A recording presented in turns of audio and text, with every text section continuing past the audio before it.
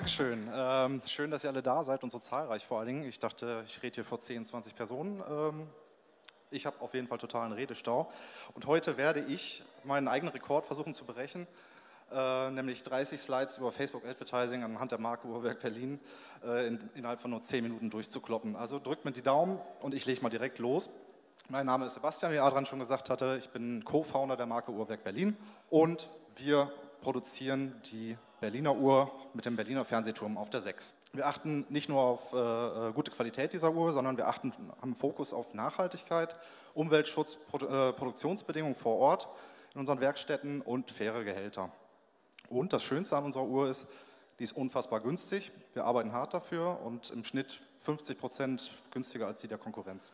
Wir sind 2017, sind wir, Anfang 2017 sind wir gestartet mit nur drei Produkten. Diese drei Produkte sind jetzt nicht mehr drei Produkte, sondern 130 mittlerweile. Wir haben heute nachgeguckt im Shop. Wir werden dieses Jahr alleine über 20.000 Uhren verkaufen und damit siebenstellige Umsätze machen. Und das Allertollste, da freuen wir uns besonders drüber, ist, dass jeder vierte oder jede vierte Deutsche zwischen 20 und 35 Jahren uns kennt oder schon mal von uns gehört hat. Freude. Am Anfang äh, hatten wir natürlich einfach diese Idee, äh, die Marke Uhrwerk, äh, nicht Uhrwerk Berlin zu nennen, sondern wir hatten die Idee, Berlin als Marke zu, zu vermarkten. Und zwar das Berliner Lebensgefühl, die Lebenslust, die Freiheit hier in Berlin. Und was liegt da näher, als ein Produkt zu wählen, was ein Accessoire ist, was man immer mit sich rumtragen kann. Und so sind wir relativ, relativ schnell auf die Uhr gekommen. Wie viele andere Startups haben wir auch gestartet, und zwar in unserer Privatwohnung. Und wie man sieht in dieser Privatwohnung, die hatte nur 42 Quadratmeter. Wir haben jeden einzelnen Platz, freien Platz verwendet, um da Uhren zu lagern. Das ging natürlich nicht besonders lange gut. Im Juni 2017 hatten wir unseren Shop ausgesetzt, die ersten Produkte vor Ort in dieser kleinen Wohnung und haben auch zeitgleich unsere erste Facebook- und Instagram-Kampagne gestartet. Und ich muss zugeben, ich hatte keinen blassen Schimmer, was ich da tue. Unsere erste Werbung sieht jetzt aus wie jetzt hier auf der linken Seite, äh, war einfach ein simples Bild mit dem Text, kennst du schon die Uhr aus Berlin, mit dem Fernsehturm auf der 6 und, und einen Preis von 39,90 als Einstiegsangebot. Und siehe da, nach einer Stunde Facebook-Werbung hatten wir bereits unsere erste Uhr verkauft. Da haben wir uns natürlich tierisch gefreut. In den nächsten Tagen es äh, wirklich gut weiter. Wir hatten jeden Tag mehr Bestellungen und äh, wie man sieht, der Haufen da, der ist gewachsen. Und äh, wir haben ein Fahrrad gekauft mit Fahrradkorb um halt diese Pakete in den Paketshop zu bringen. Wir brauchten dann irgendwann Ikea-Tüten noch zusätzlich und haben dann auch festgestellt, dass auch diese Ikea-Tüten auf Dauer nicht mehr reichen und wir haben ein richtiges Lager mittlerweile. Die Labels sind übrigens äh, von den Kollegen von SendCloud, da bedanken wir uns ganz herzlich für, das hat uns sehr viel Arbeit abgenommen. Wenn, man sich unsere Umsatzkurve seit 2017 anschaut, sehen wir hier den Launch in 2017 im Juni und nach bereits zwei Monaten waren wir im August schon ausverkauft. Absolute Katastrophe für einen Online-Shop, keine Ware zu haben. Auf der anderen Seite haben wir diesen Umsatz, den wir da gemacht haben, genutzt, um sofort neue Ware zu produzieren. Um dann festzustellen, dass wir Weihnachten 2017 schon wieder ausverkauft waren. Weihnachtsgeschäft ist ausgefallen und hat uns die Möglichkeit gegeben, mal wieder in Urlaub zu fahren. Das war super. Wir haben groß nachbestellt, hatten den nächsten Ausverkauf im August 2018. War diesmal nicht ganz so tragisch, weil wir zeitgleich Männeruhren gelauncht hatten. Wir hatten vorher nur Frauenuhren. Dann kam der Black Friday. Das ist wirklich für alle Online-Händler, ich glaube, der wichtigste Tag. Da haben wir an einem Wochenende 1680 Uhren verkauft. Und leider auch verpackt, noch manuell. Das war wirklich schlimm. Weihnachtsgeschäft waren wir auch schon fast wieder ausverkauft, neue Ware bestellt und dann hatten wir im Mai diesen Jahres nochmal einen kleinen Umsatzeinbruch. Wir haben einen neuen Mitarbeiter eingestellt, den Moritz. Ich bin Vater geworden und der Moritz hat absolut gar keine Ahnung von Facebook Advertising. Gut, jetzt kommen wir zum eigentlichen Thema. Ich soll über Facebook reden. So, wie hat uns das geholfen, die Marke aufzubauen? Ich habe gesagt, ich habe absolut keinen blassen Schimmer gehabt, was ich tue anfangs und äh, habe ganz blöd Facebook gefragt, gib mir Leute, interessenbasiert, gib mir Leute, die äh, sich für Uhren interessieren, weiblich sind und zwischen 20 und 39 Jahren alt sind.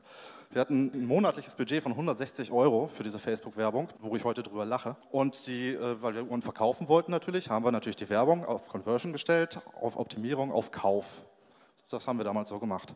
Weil wir es auch nicht besser wussten, haben wir jede Woche neue Werbung geschaltet, weil wir dachten, unsere Interessenten müssten irgendwie auf, auf dem Laufenden gehalten werden.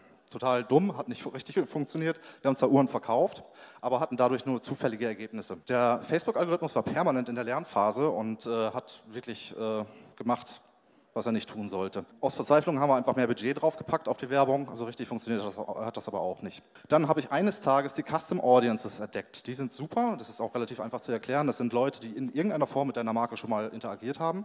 Zum Beispiel äh, die Werbung geliked, auf der Internetseite gewesen sind oder vielleicht sogar schon mal eine Uhr von uns in den Warenkorb gelegt haben. Diese Leute kann man jetzt bewerben. Wir haben angefangen, verschiedene Kampagnen aufzusetzen bei Facebook. Wir haben Split-Tests gemacht, das sind AB-Tests bei Facebook, um Kampagnen gegeneinander antreten zu lassen, um einfach datengetriebener zu arbeiten. Und haben festgestellt, dass eine längere Laufzeit auch einfach mehr Social Proof erzeugt, also mehr Likes auf Dauer und die, die Werbung dadurch einfach günstiger wird und dass wir weniger Arbeit haben.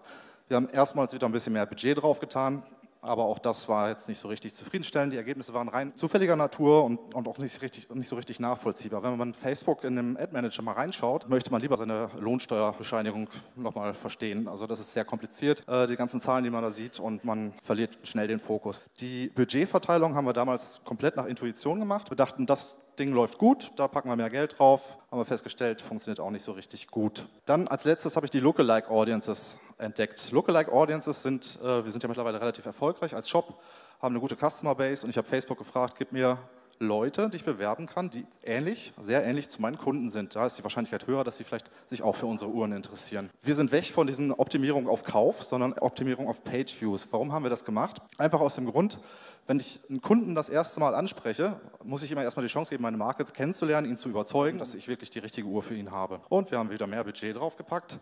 Richtig gut hat auch das wieder nicht funktioniert. Wir hatten zwar bessere Ergebnisse, aber immer noch, immer noch sehr unregelmäßig. Und was sehr interessant ist, wir hatten zwar mehr Traffic, aber weniger Käufe für diesen Traffic, weil Facebook uns Leute geschickt hat, die Page-Views machen, die sich gerne Internetseiten angucken, aber die nicht unbedingt willig sind, eine Uhr zu kaufen. Unser Return on Ad Spend ist auch relativ niedrig gewesen damals und mehr, mehr Budget an der Stelle hat uns auch nicht wirklich geholfen. Dann ist mir der Kragen geplatzt, weil ich schon so viel Geld, mittlerweile 180.000 Euro an Facebook überwiesen habe und ich wollte es endlich mal verstehen. Wir haben uns damit beschäftigt, haben jetzt einen Account Manager bei Facebook und der hat uns auch ein bisschen geholfen, äh, die Kampagne oder die Struktur der Kampagnen besser aufzusetzen. Äh, das, das ganze Targeting auch besser zu machen. Wir haben die automatische Budgetoptimierung von Facebook jetzt benutzt oder in Benutzung, sind eigentlich recht zufrieden damit. Äh, wir haben einen richtigen Funnel aufgesetzt, das zeige ich euch gleich auf der nächsten Folie. Und wir gucken täglich auf die Werbung drauf und schalten rigoros ab, was nicht läuft oder was zu teuer wird. Die 160 Euro monatlich, die wir äh, anfangs ausgegeben haben für Facebook, sind heute bis zu 2000 Euro am Tag, die wir bei Facebook ausgeben und aber auch Gott sei Dank wiederbekommen durch Verkäufe. Das ist unsere aktuelle Struktur. Ich will jetzt nicht ins Detail gehen. Ähm, das ist pretty straightforward hier. Wir haben Prospecting, um also Neukundenakquise zu machen und unsere Marke erstmal Interesse zu wecken. Und dann haben wir ein Retargeting. Wenn jemand zum Beispiel eine Uhr in den Warenkorb gelegt hat, bewerben wir ihn, hey, du kannst sie jetzt auch wirklich kaufen. Du hast 30 Tage Rückgaberecht zum Beispiel und äh, wir versuchen die Kunden oder die zukünftigen Kunden immer weiter in diesen Funnel nach unten zu drücken. In Orange, das sind die Kunden, die wir da bewerben, die schon eine Uhr gekauft haben und die wir dann mit Upselling und Cross-Selling-Maßnahmen weiterhin bewerben können. Das funktioniert für uns deutlich besser und wir haben jetzt regelmäßige Ergebnisse. Der Traffic auf unserer Internetseite ist nicht unbedingt mehr geworden, aber die Leute, die kommen, die sind wirklich sehr wertvoll für uns, weil die sind wirklich interessiert an der Marke und die kaufen, man sieht es an der Conversion Rate, die teilweise bis zu 7% ist, die kaufen unsere Uhren. Unser Return on Ad Spend ist seitdem auch stabil und wir können endlich skalieren mit mehr Budget die letzte Folie, wie man mit Facebook am wenigsten Geld verliert. Beschäftigt euch mit Facebook, bevor ihr anfangt, da Geld nach Facebook zu, zu überweisen.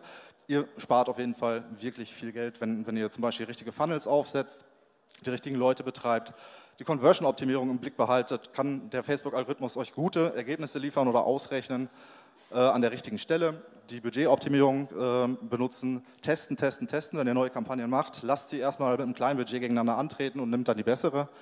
Der Facebook-Katalog hat bei uns sehr viel gebracht. Das ähm, ist zwar ist ein Facebook-Shop, der fürchterlich aussieht, aber der große Vorteil ist, wenn man einen Post macht bei Instagram oder Facebook, kann man seine Produkte direkt verlinken und die Leute können direkt draufklicken, ohne aus der App auszusteigen.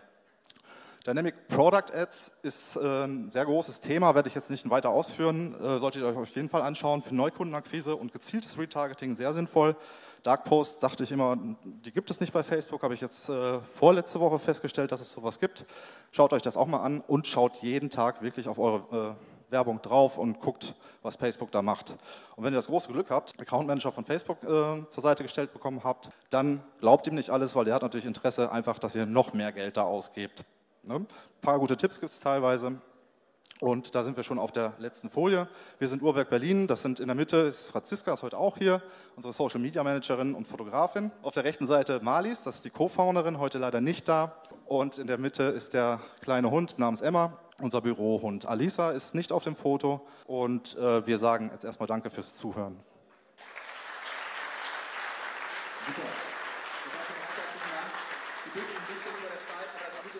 Verkaufst